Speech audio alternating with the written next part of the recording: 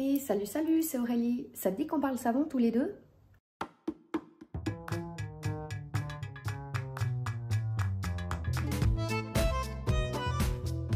Alors si tu ne me connais pas, je partage sur ma chaîne des vidéos, notamment des vidéos tuto, où je partage des recettes de savons solides, des savons faits avec la méthode de la saponification à froid. Et j'avais envie de faire une vidéo un peu différente, où c'est que je te parle euh, en face cam, de face à face, comme un peu comme une discussion. En fait, pourquoi je fais cette vidéo C'est parce que déjà j'avais envie de te parler ben, d'une de mes passions qui est la saponification à froid. J'avais envie de te parler un petit peu de mon expérience et puis de ce que j'ai compris au travers de la saponification à froid, les étapes un petit peu dans mon apprentissage. Et j'avais aussi envie de répondre aux diverses questions que je retrouve régulièrement sous mes vidéos et euh, je me suis dit que c'était ben, cool de rassembler tout ça dans une vidéo, que ça pouvait être intéressant. Et, voilà, alors si, le sujet t'intéresse, je te propose de rester avec moi.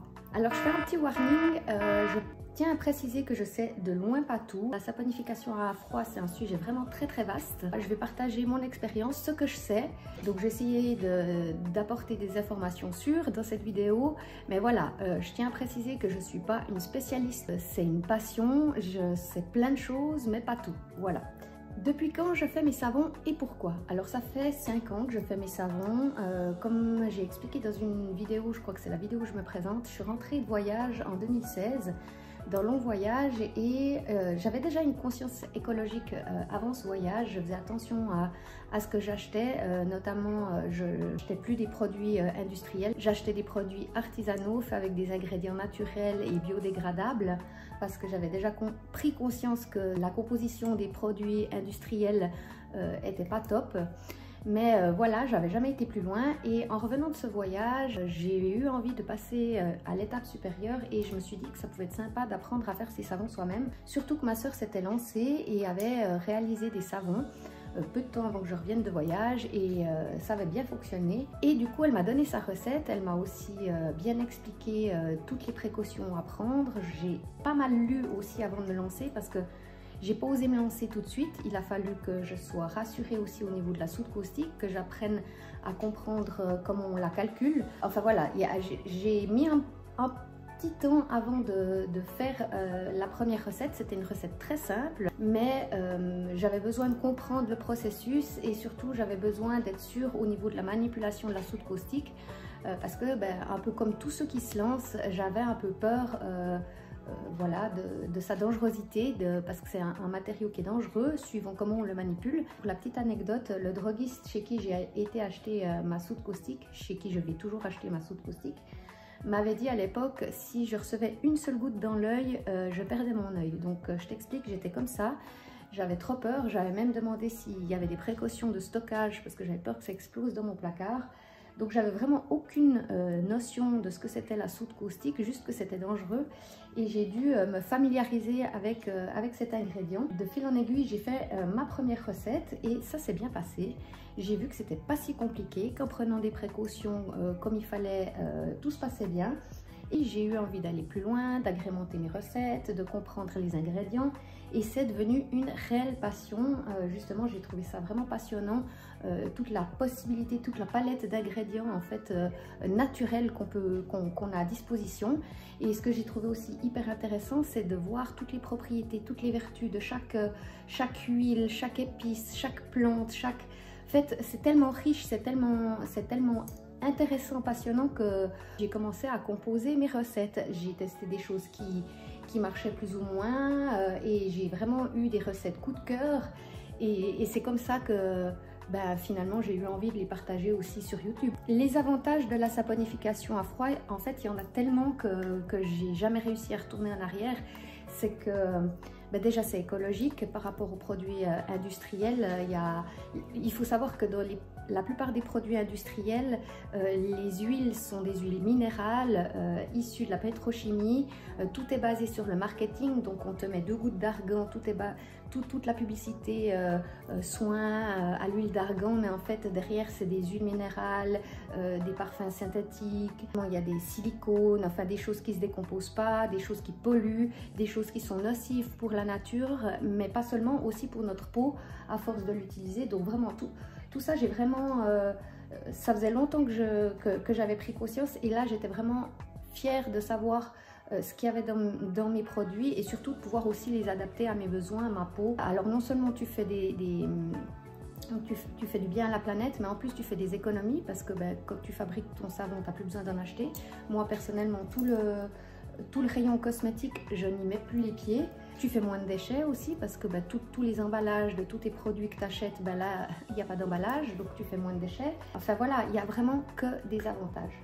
Maintenant, je vais te parler de qu'est-ce que la saponification à froid. Alors, c'est un vaste sujet qui peut paraître hyper complexe au début, surtout quand on se lance.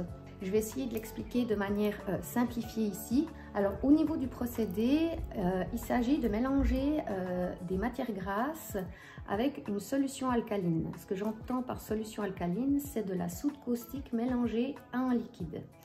Je vais revenir là-dessus. Donc, des matières grasses avec une solution alcaline, on mélange le tout et ça se transforme en savon et en glycérine. Le savon nettoie la peau et la glycérine hydrate la peau.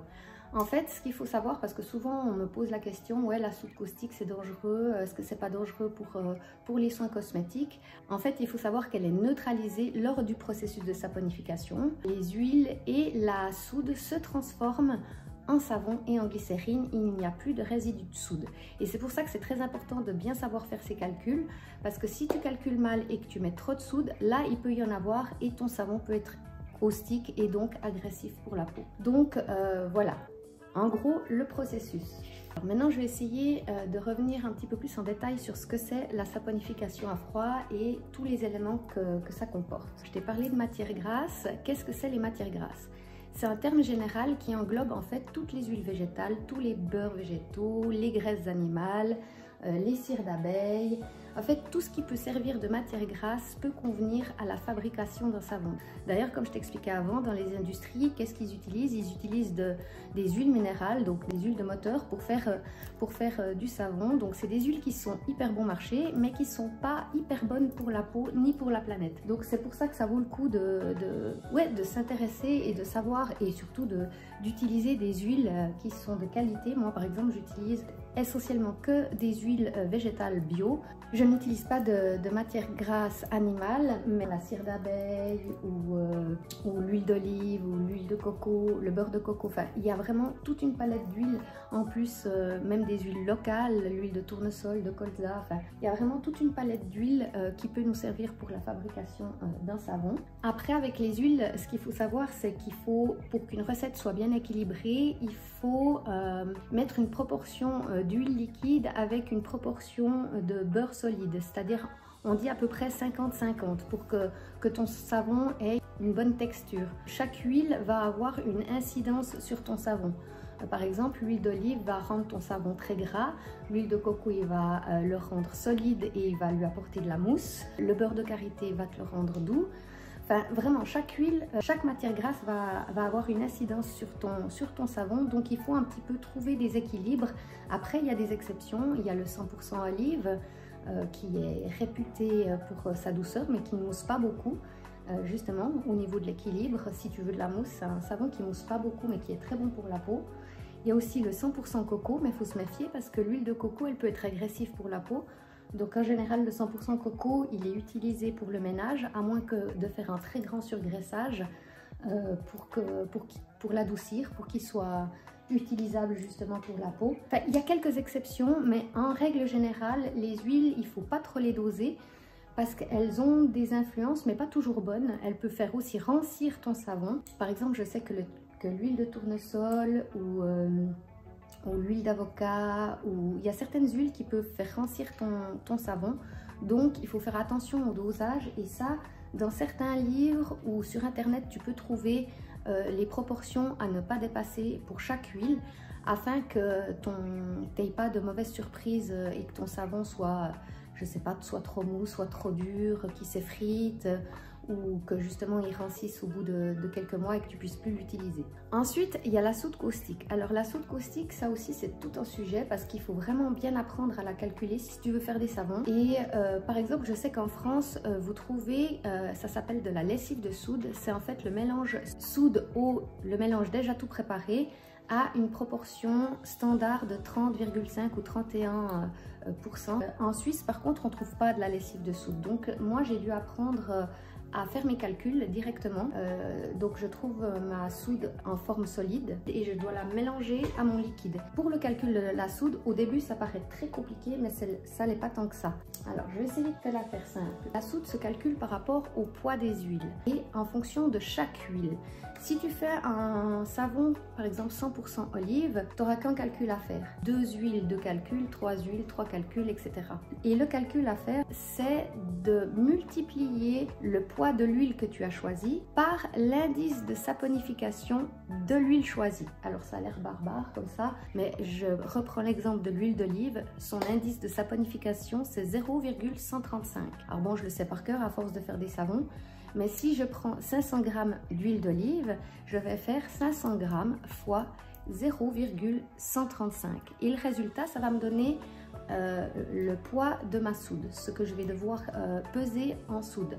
Seulement, ce qu'il faut faire attention, c'est que quand on fait des savons, il faut penser au surgraissage. Qu'est-ce que ça veut dire le surgraissage? C'est soit un ajout de matière grasse, soit une, euh, diminution de soude caustique.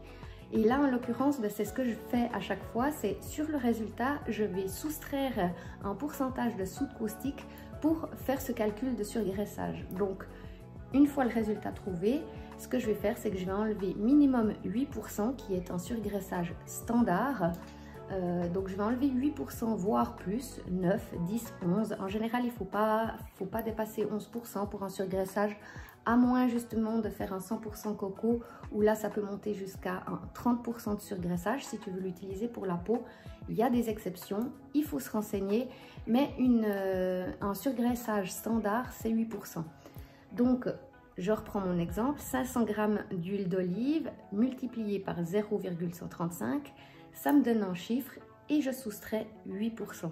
Alors c'est clair quand euh, on fait les calculs pour, euh, pour des savons, il faut être un petit peu à l'aise avec les pourcentages. Donc en gros, euh, voilà, c'est ça l'idée. Chaque huile, tu vas définir une quantité et ensuite tu vas pouvoir calculer la soude en fonction de chaque quantité d'huile avec l'indice de saponification de chaque huile. Après, il y a le liquide aussi. Alors le liquide, il y a plusieurs manières de le calculer. C'est-à-dire que moi, j'ai appris au début parce que ben, justement, je me suis beaucoup fiée à des livres que je te présenterai après et que je te montrerai à la fin parce qu'on me demande aussi souvent les références de livres. Mais alors du coup, je vais, je vais tout te montrer à la fin.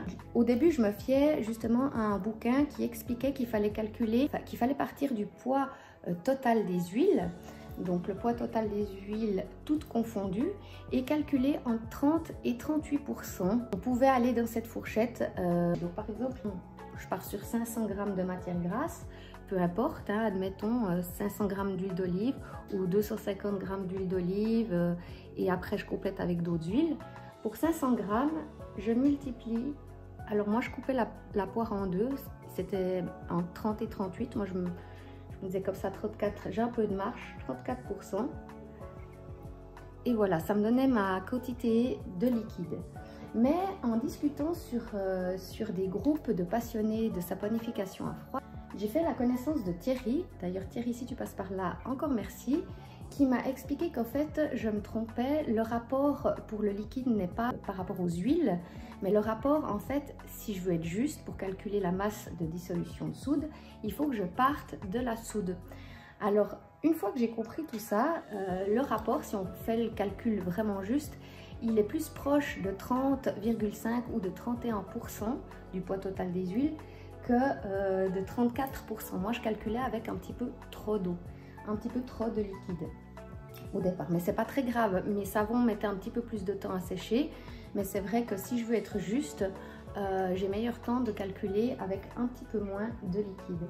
Et donc, ce que je voulais dire aussi, c'est que par exemple, dans la lessive de soude, la masse de dissolution de soude, c'est ça en fait, c'est le rapport entre l'eau et la soude. Et euh, le rapport est de 30,5 ou de 31 pour une, euh, pour une dissolution standard. Et euh, moi, je me rapprochais d'une dissolution plus... Enfin, j'avais une dissolution en fait plus, plus élevée. Voilà, donc je ne sais pas si c'est clair. En fait, Thierry m'a donné un document qui est très très bien fait, qui, si ça t'intéresse, si le sujet t'intéresse, je te conseille vraiment d'aller le regarder parce qu'il est bien écrit, il est très instructif et je lui ai demandé si c'était possible de le partager. Il m'a dit oui. Alors du coup, tu vas le retrouver euh, dans la barre d'infos. Encore merci Thierry. Voilà pour le calcul un peu en gros du liquide. J'espère que je t'ai pas perdu. Avec la lessive de soude, t'as pas le choix. Tu apportes pas de propriété en plus à ton savon. Et ce qui est intéressant quand tu fais ton mélange toi-même avec la soude, tu mélanges un liquide différent tu peux euh, vraiment apporter plein d'autres propriétés. Par exemple, tu peux mélanger avec des infusions, des thés, de la bière, laits, euh, avec, euh, avec des jus de fruits, avec des jus de légumes. En fait, tu peux vraiment varier les recettes et apporter des vertus supplémentaires à ton savon au travers du liquide. Et c'est ça que je trouvais aussi hyper intéressant en faisant ton mélange toi-même. Alors c'est clair, il y a des précautions à prendre lors de la manipulation, lors du mélange euh, de la soude avec le liquide, qu'il n'y a pas avec, euh, avec la lessive de soude. Il faut tout de même faire attention lors de la manipulation de la lessive de soude parce qu'elle est, elle est caustique, elle peut également te brûler, mais tu passes pas par la phase de mélange où c'est que justement il faut faire attention, bah, il y a déjà toutes les vapeurs qu'il faut faire attention de ne pas respirer. Et ensuite, ben, quand tu renverses la soude, déjà il y a des processus à surtout pas euh, faire à l'envers. Par exemple, la soude se renverse toujours dans le liquide et jamais l'inverse. Euh, J'ai pas testé l'inverse, mais semblerait-il que ça peut être assez explosif et tu peux, tu peux être blessé quoi. Donc euh, il faut vraiment toujours le faire dans ce sens-là et évidemment faire attention aux vapeurs, attendre que ça refroidisse et tout ce processus, ben, c'est clair que tu l'as pas quand tu achètes de la lessive de soude. Moi, je te conseille d'être à l'aise avec les calculs. Alors, il existe des calculateurs sur Internet. Perso, moi, euh, quand je me suis lancée, j'ai rien compris au départ, mais vraiment, j'y comprenais rien du tout. Le fait que ça calcule tout pour moi, euh, pour moi, c'était pas, pas de l'aide en fait. Donc, euh, du coup, j'ai laissé ça de côté et j'ai appris par moi-même. Et c'est bien plus tard, en fait, ça, ça doit être il y a quoi ouais, quelques années. C'est une copine que j'ai rencontrée qui fait aussi des savons, qui m'a expliqué euh, comment elle l'utilisait et, que je me suis repenchée un peu sur la question parce que vu que j'en avais pas besoin, je ne les utilisais pas. Après, ce que je trouve sympa avec euh, les calculateurs, c'est qu'il y a une projection sur le savon, c'est-à-dire que comme tout est dans le programme et tout, euh, chaque huile, chaque propriété de l'huile, euh, ce que ça va avoir comme influence sur ton savon, euh, et eh ben, tu le vois au niveau du résultat. Il va, ça, ça t'indique si ton savon sera suffisamment dur, suffisamment mou ou trop mou, s'il aura suffisamment de mousse, s'il risque de rancir. Enfin, toutes ces informations sont données dans le, dans le programme, ce qui peut être hyper intéressant. Alors moi, des fois, je m'amuse quand je fais des recettes comme ça juste de les rentrer pour voir ce que ça donne. Si c'est pas ton truc et que tu comprends rien, surtout désespère pas. Ça paraît barbare au début. Il suffit de, lire un petit peu, de regarder, de faire une ou deux fois, puis tu verras, ça vient après ça vient tout seul et puis euh, tu n'as plus besoin de réfléchir pour faire, euh, pour faire tes calculs et tes recettes. Après, il y a les ajouts aussi. Alors, qu'est-ce que c'est les ajouts? C'est tout ce que tu peux ajouter après la trace. Qu'est-ce que c'est la trace? La trace, c'est quand tu fais ton mélange avec tes huiles et ta solution alcaline. Au début, c'est très très liquide. Et quand ça commence à devenir crémeux, ce moment-là, ça s'appelle la trace. Et la trace, elle peut être fine et de plus en plus épaisse. C'est-à-dire que ta crème, elle devient de plus en plus épaisse, jusqu'à trancher des fois. Et c'est là que tu, remplis tes moules à la truelle. À ce moment-là, au moment de la trace, en général, quand elle est assez fine, que tu fais tes ajouts, et là, tu peux justement ajouter plein de choses tu peux ajouter des exfoliants, euh, des, poudres de plantes, des, pétales de fleurs, des épices, des pigments, des huiles essentielles. Alors quand je dis pigments, euh, ça peut être justement toute une palette d'épices, toute une palette d'argile, toute... Euh, ça peut être vraiment plein de choses. Il y a aussi des pigments minéraux comme tout ce qui est mica, ocre. Il existe vraiment toute une palette de choses que tu peux ajouter à ton savon soit pour le décorer, soit pour lui apporter des propriétés et c'est hyper passionnant. Donc voilà, je crois que j'ai un petit peu fait le tour de, de, ce que c'est la saponification à froid. J'espère que j'ai rien oublié. Euh, maintenant, euh, je voulais te dire un petit peu où c'est que j'en étais à présent. Alors, ben, je fais ça vraiment par passion. Euh, mon but c'est pas de vendre des savons, euh, mon but c'est plutôt de partager ce que je sais et que le plus grand nombre euh, de personnes puissent faire ces savons soi-même et, et n'aient plus acheté de savons industriels dans les grandes surfaces. Ça serait plutôt ça mon but. Si, ça, si je peux être utile, plutôt c'est ça qui me, rend heureuse. Après, euh, comme je t'ai dit, j'avais envie aussi dans cette vidéo de répondre aux questions qui reviennent fréquemment sous mes vidéos euh, tutoriels ou autres de savon. Et je me suis dit que ça pouvait être sympa de profiter justement de cette vidéo pour faire ça.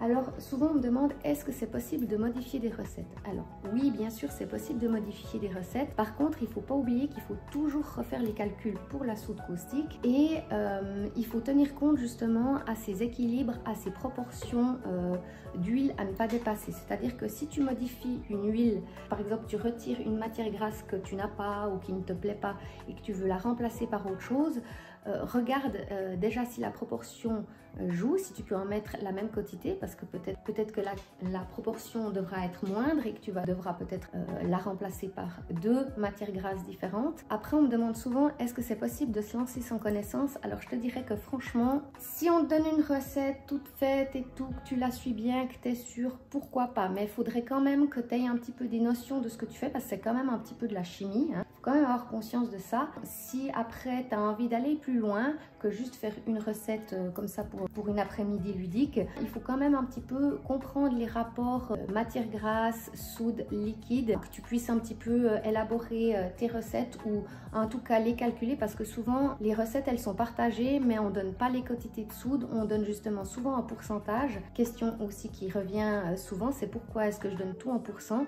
C'est pour cette raison-là, c'est pour que si tu as envie de refaire ma recette, tu puisses déjà la faire avec n'importe quelle quantité. Tu veuilles faire 1 kg, 500 g, 2 kg de savon, tu puisses euh, la reproduire euh, parce que je te donne des proportions et pas des grammes. Et surtout, c'est que si tu fais des savons et que tu es à l'aise avec les pourcents, ça te pose pas problème euh, d'avoir des pourcentages parce que de toute façon, il va falloir calculer la soude caustique avec l'indice de saponification, il va falloir calculer le surgraissage qui est en pourcent, il va falloir calculer le liquide qui est aussi 1%. Et si tu mets tout dans un calculateur, il y a toujours noté dans le calculateur en quoi ça correspond en proportion, en pourcentage. Donc les pourcents sont vraiment importants à, être à l'aise et à comprendre en fait quand tu fais de la saponification à froid. Mais je te jure, même si euh, ça te paraît compliqué maintenant, fais quelques calculs puis tu verras. Ça, vient et puis euh, ça va plus être un problème, je te promets. Après, au niveau du matériel, on me demande souvent où c'est que je me fournis, par exemple mes moules. Alors faut savoir que la plupart de mes moules, je les ai achetés sur le site Aromazone. Après, on m'en a aussi offert. Euh, moi, je suis pas dans la grande consommation, je fais avec ce que j'ai. J'ai quelques moules, j'ai un moule Nicole que j'ai acheté sur Aromazone. J'ai des moules euh, rectangles. Enfin, la plupart de mes moules, euh, je les ai achetés sur Aromazone. Hum,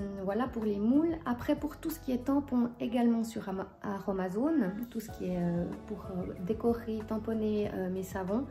au niveau des ingrédients, alors, il y a certaines choses que je commande sur Aromazone, euh, comme euh, les, des poudres d'argile ou, la poudre d'ortie aussi, ça m'arrive de la commander sur Aromazone. Après, j'essaye aussi de récolter moi-même. Alors euh, voilà, je récolte pas des grosses quantités comparé à ce que je fais. Et je vais aussi dans des petites drogueries du centre-ville chez moi, magasins vrac ou dans les magasins bio ou voilà, dans tout ce genre de magasin ou même dans ton épicerie du coin, tu peux trouver des huiles végétales. C'est les huiles que tu trouves au rayon, euh, au huile dans les, dans les centres commerciaux. Elles vont très bien, seulement fais attention que ça soit toujours de l'huile vraiment euh, pure. Par exemple, dans certaines huiles, c'est marqué huile végétale.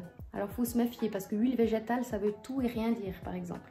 Si tu achètes de l'huile d'olive, euh, vérifie qu'il y a bien que de l'huile d'olive. Je te conseille aussi d'acheter des produits bio, c'est quand même mieux. Comme autant pour euh, l'intérieur que l'extérieur, c'est mieux d'utiliser des produits bio. Après, euh, si tu veux commander en plus grosse quantité, moi j'habite en Suisse, j'aime bien le site jojobagold.ch qui est vraiment chouette pour acheter euh, justement des grosses quantités de, de matière grasse. Moi j'y commande mon beurre de cacao, mon beurre de karité. Après moi je commande aussi un petit peu des pigments sur euh, la folie des senteurs. C'est un site qui est sympa. Je sais qu'ils vendent aussi des fragrances. Après, ça, c'est très personnel, mais moi, j'en utilise pas. J'utilise de temps en temps euh, les huiles essentielles euh, et des huiles qui sont pas trop pas trop précieuses comme euh, la lavande, la menthe ou les huiles essentielles d'agrumes. De, J'essaye de d'économiser mes, mes huiles essentielles et de les utiliser à bon escient parce que c'est aussi quelque chose qui est controversé, ça, les huiles essentielles. Il y en a qui disent que les propriétés restent, il y en a d'autres qui disent qu'elles ne sont pas conservées dans la pâte à savon. À mon avis, ça dépend tout aussi du moment où c'est que tu les ajoutes. Mais bref, c'est vrai qu'il y a des questions qui se posent quant aux propriétés, est-ce qu'elles restent? L'odeur, en tout cas, elle reste, mais c'est vrai qu'elle a tendance à s'atténuer. Donc, est-ce vraiment utile d'utiliser des huiles essentielles euh, simplement pour parfumer un savon. C'est un sujet aussi qui, porte à discussion. Chacun son avis. Je respecte celui des autres. Il euh, n'y a pas de souci. Chacun fait comme il veut. Mais voilà pour euh, un petit peu où c'est que je me procure mes ingrédients. Ah oui, puis pour les huiles essentielles, j'en commande certaines sur Aromazone. J'en achète aussi dans mes drogueries. Donc c'est des huiles essentielles bio. Après, concernant le temps de séchage. Alors le temps de séchage, bon, il y a aussi un peu des discussions par rapport au terme curé et au terme séché. Séchage, En fait, pour moi, le temps de cure, c'est le temps que la saponification à froid, elle se fasse. Et la saponification se fait dans les 48 à 72 heures. C'est aussi le temps, en général, qu'il faut attendre avant de pouvoir démouler ton savon. Ça peut varier, ça dépend de nouveau euh, des huiles que tu as choisies. Il y a certains savons qui se démoulent très bien après 24 heures. il y en a certains autres, il faut attendre 72 heures ou même les passer un petit coup au congélateur si tu veux pas les abîmer lorsque tu les démoules. Après, le temps de séchage, le temps de séchage, euh, c'est environ on compte environ un mois. Donc une fois que tu as démoulé tes, savons, le temps que le liquide s'évapore et que ton savon soit vraiment euh, optimum au niveau de son utilisation, on dit que c'est minimum un mois. Après moi, j'en ai déjà utilisé avant. Euh, tu peux en utiliser avant. Vérifie toujours le pH, que ton savon ne soit pas caustique, mais tu peux l'utiliser avant. C'est juste, il va s'user très rapidement, il va être peut-être un peu plus gras que ce qui devrait être. donc plus tu attends longtemps en le temps de séchage, plus ton savon il sera agréable à utiliser. Après, il y a aussi des exceptions comme le Castille. Donc le Castille c'est le 100% olive et le 100% olive, lui, il faut attendre 9 mois pour que vraiment il soit au top du top euh, de son utilisation. Alors faut être patient et faut aimer les castilles. Moi j'adore les castilles et j'en fais plein. J'en ai fait plein là dernièrement. Ils seront prêts en janvier. Voilà. Voilà. Le pH aussi, on me pose souvent des questions sur le pH. Euh, notamment par rapport au shampoing, on me dit oulala mais le pH il est trop élevé, il faudrait baisser le pH, etc. En saponification à froid, clairement, tu auras de la peine à avoir un pH en dessous de 7. 7, c'est vraiment, je crois, un minimum. Les miens de savon sont en général à 8, 8, 9, par là autour. Mais euh, voilà, en saponification à froid, il faut savoir que le pH euh, va être entre, je dirais, 7 et 10. Voilà, c'est ça la tranche où c'est que tu dois être. Si c'est au-dessus, ton savon, il est caustique, faut pas l'utiliser. Et s'il est au-dessous, euh, c'est qu'il y a eu... Enfin voilà, en général, ça n'arrive pas. J'avais aussi envie de partager euh, dans cette vidéo les livres qui m'ont aidé à comprendre la saponification à froid et tout le processus, des livres que je, peux que je trouvais intéressants euh, si tu t'intéresses au sujet. Alors, il y a celui-là, c'est un livre que je montre dans la vidéo tuto sur la saponification à froid. C'est les savons naturels maison méthode à froid de Christelle Spada aux éditions Anagramme. Je mettrai de toute façon toutes les, toutes les références dans la barre d'infos. Ce livre m'a été précieux parce que je trouve qu'il explique très bien justement euh, chaque ingrédient à en quoi il est important, euh, comment l'utiliser, comment le calculer. Pour chaque euh, huile, c'est expliqué, c'est noté l'utilisation, donc la proportion à ne pas dépasser. Je le trouve vraiment euh, bien. Là, il y a comment colorer un savon, les colorants naturels, parfumer un savon, décorer un savon, le démoulage, la résolution des problèmes. Ça aussi, c'est top parce que quand on, débute, eh ben, il y a des petites surprises et puis c'est rassurant de savoir ce qui se passe. Par exemple, les petites pellicules blanches sur le savon, il s'agit de cendres de soude qui se forment lors du séchage. Quand ton savon sèche, s'il a des petites euh, zones qui deviennent blanches, c'est pas grave du tout. Moi au début je me disais mon dieu il a pourri. Euh, ah. Et en fait ça s'enlève au contact de l'eau, c'est juste des petits résidus des résidus de soude qui sont, neutralisés mais voilà, qui ressortent. C'est souvent quand ton savon euh, il sèche et qu'il est en contact avec l'air que ça fait ça. Alors euh, il y a des moyens d'y remédier aussi, par exemple en, sprayant euh, de l'alcool dessus Ou euh, j'ai vu l'autre jour sur un groupe aussi avec un fer à vapeur. Si tu passes la vapeur dessus, ça peut aussi enlever, euh, enlever cette cendre de soude. Après, ben justement, ils expliquent, moi ça m'est arrivé une fois, euh, j'ai eu un savon qui s'effritait. C'est parce que j'avais pas mis assez d'eau dans, dans ma recette. ce livre, je te le conseille si tu débutes, il est vraiment chouette. Moi, il m'a beaucoup aidé aussi à comprendre les calculs. C'est un petit peu ma bible. Et on me demande aussi souvent la référence parce qu'il a cette page où c'est qu'il y a tous les indices de saponification d'une bonne liste d'huile déjà.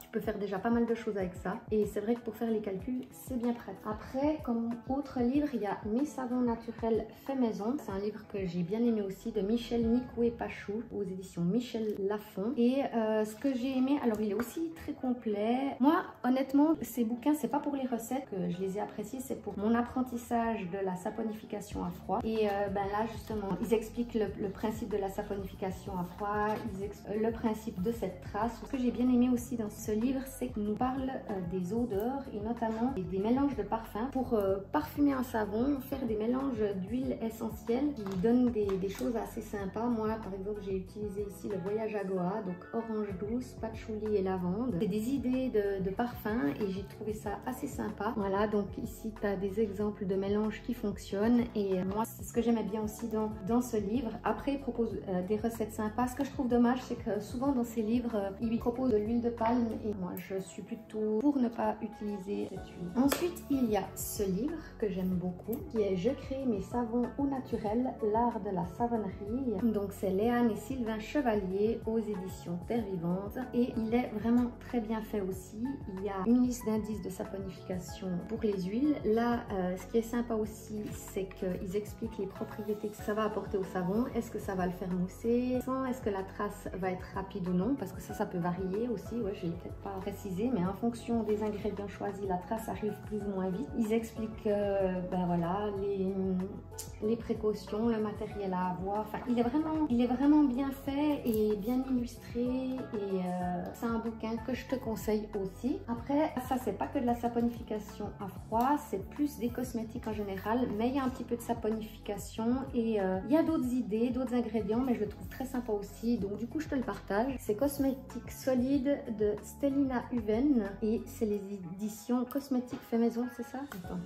Édition La Plage. Alors ce que je trouve sympa avec ce livre, c'est que c'est plein euh, d'idées, de recettes pour des cosmétiques, pas que du savon justement, il y a des masques pour euh, le visage, il y a des barres de massage, il y a des déodorants, il y a, vraiment pas mal de choses. D'ailleurs c'est dans ce livre que j'ai repris l'idée de la barre de massage, le gommage au marc de café. Il y a plein d'idées qui sont super bonnes à prendre et euh, à réadapter bien évidemment. Moi je les ai toujours un petit peu réadaptées mais je le trouve vraiment sympa si tu te lances dans les cosmétiques naturels, euh, tu peux déjà faire pas mal de choses. Et ensuite, alors ça c'est un livre qui m'a beaucoup euh, marqué parce qu'il m'a fait prendre conscience encore plus à quel point euh, les produits industriels étaient bourrés euh, de produits nocifs pour la peau et pour la nature. Et euh, il m'a aidé à comprendre les étiquettes de ces produits, enfin des produits cosmétiques un peu mieux. Et ça je crois, définitivement fini de me convaincre de ne plus acheter de produits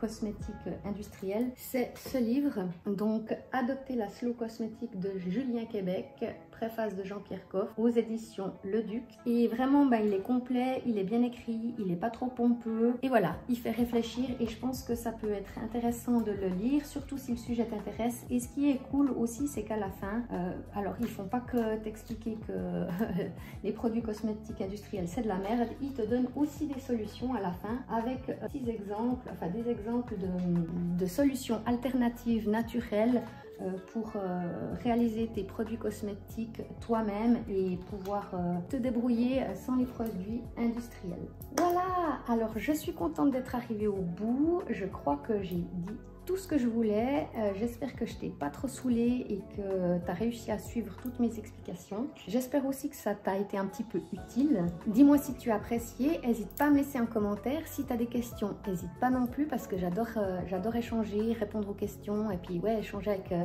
avec tous ceux qui me laissent des petits messages. Merci beaucoup d'avoir regardé cette vidéo jusque là. J'aime bien faire des vidéos comme ça, dis-moi ce que t'en penses. Je te remercie encore et je te dis à bientôt pour une prochaine vidéo. Des gros bisous